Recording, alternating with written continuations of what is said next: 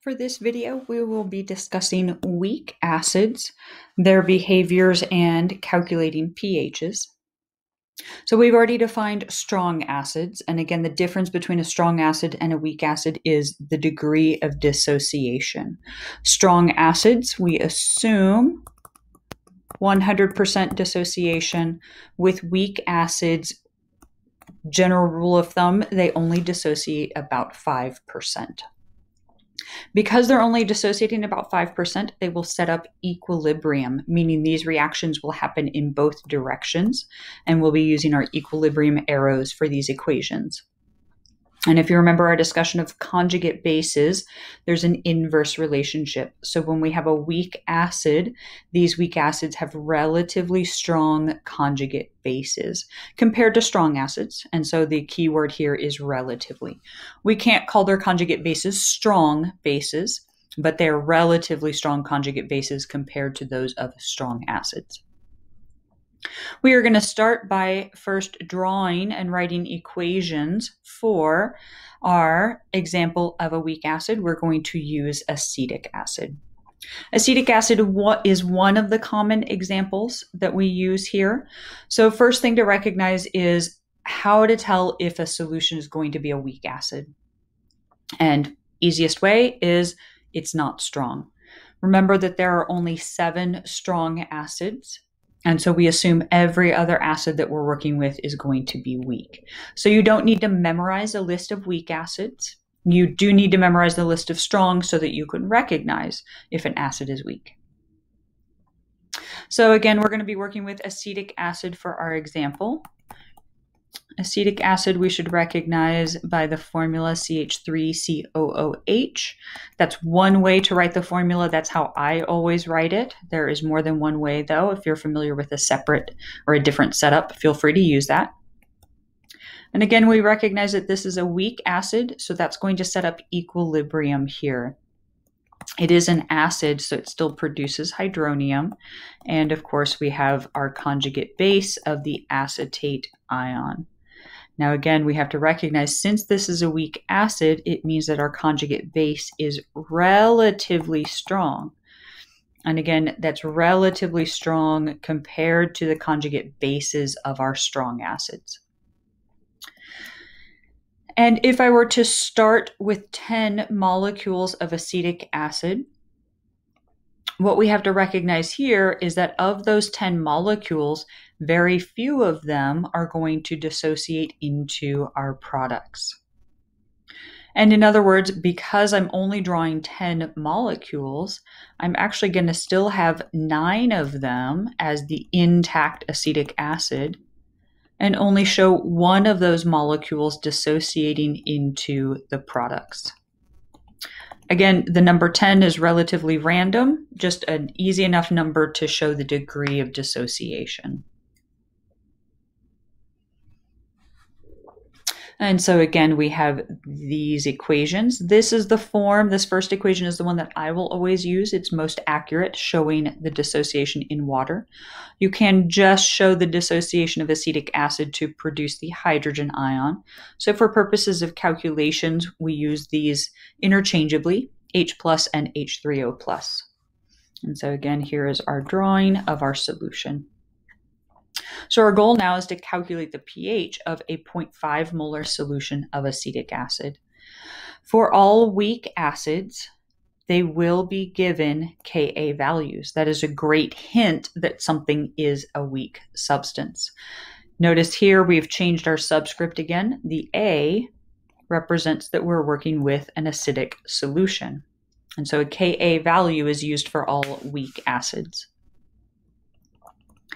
because this dissociation in water sets up equilibrium, we set up ICE tables.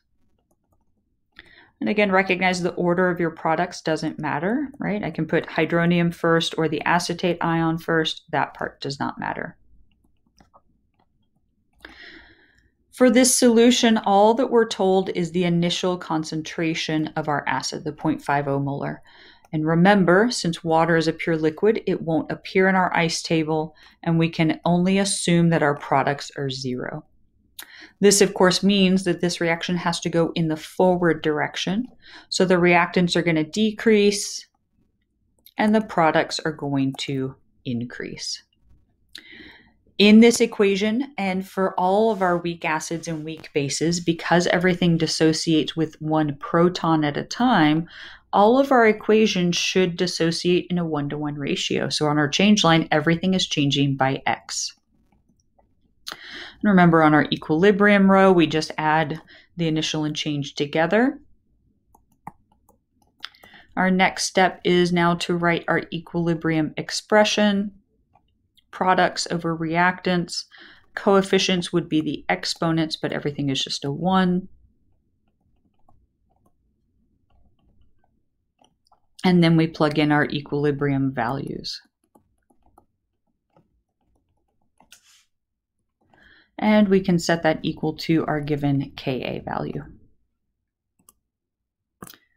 And now recognize because we have a Ka value that is small, right? Weak acids mean these are very reactant favored systems right? So one way you can actually rewrite your arrows is to show offset equilibrium arrows, if that helps you remember that this is reactant favored.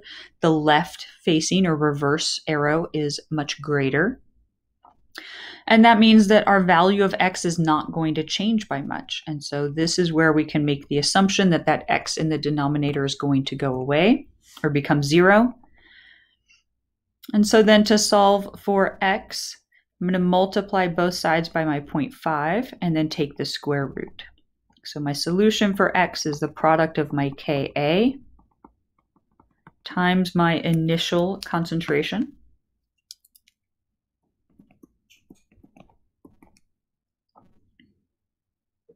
And that will always be the case. So if you want to learn this setup for a weak acid, it's always going to be the product of Ka times our initial acid concentration.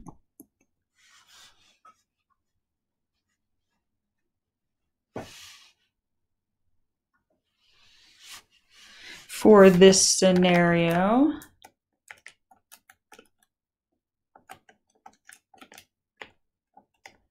we get an x value of 0.003. And that's all the calculator gives us. Remember, x is concentration in our ICE table. And it's also helpful to start noting what the value of x represents. Here, since I'm working with an acid solution, I have to remember that X is my hydronium concentration at equilibrium.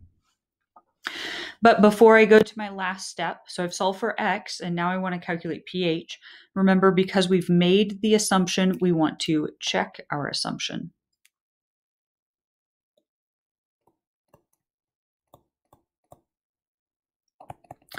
Remember, checking assumption is the value of x over our initial acid concentration times 100. That's going to give us 0.003 over our initial of 0.50 times 100. And as long as this is less than 5, we are good. This comes out to be 0.6 and that's all the calculator gives us. For checking x, we don't care about sig figs because again, it's not a final answer. It's just a check to know that our assumption is valid. Now that we know our assumption is valid, we can calculate the pH by taking the negative log of our hydronium concentration. And again, since X is already in concentration units, we can plug that 0.003 in to our pH equation and we get a pH value of 2.52. That is our final answer for this example.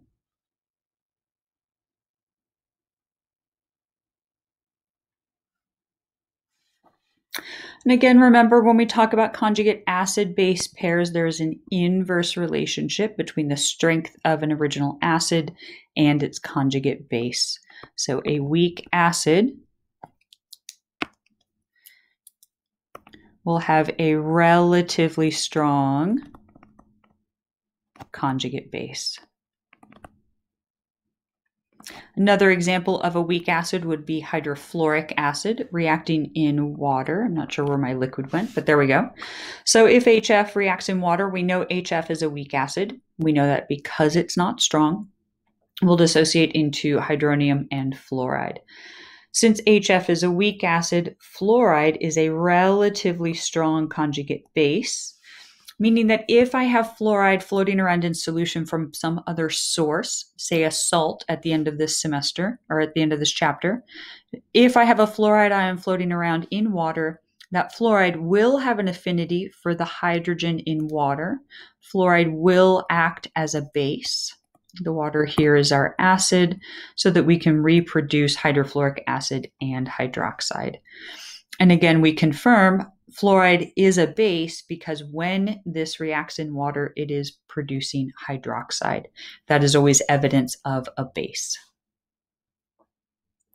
The last slide in here is just for reference. This is in your PowerPoint slides, and this problem that I just worked for acetic acid calculating the pH is all solved out here. The other reason I wanted to mention this, if you want more practice problems with weak acids, worked examples 9, 12, and 14 in OpenStax are great examples.